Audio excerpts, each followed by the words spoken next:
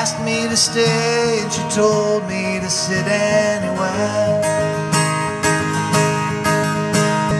I looked around and I noticed there wasn't a chair. I sat on her rug, biding my time, drinking her wine. We talked until two, and then she said, time for bed.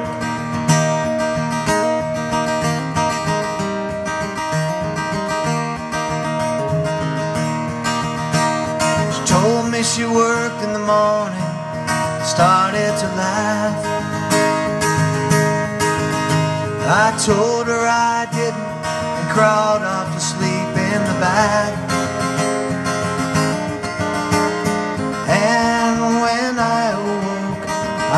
Alone. This bird had flown.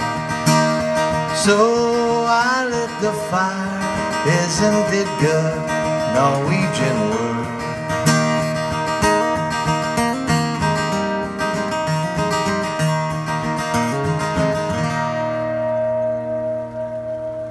Beatles. Thank you.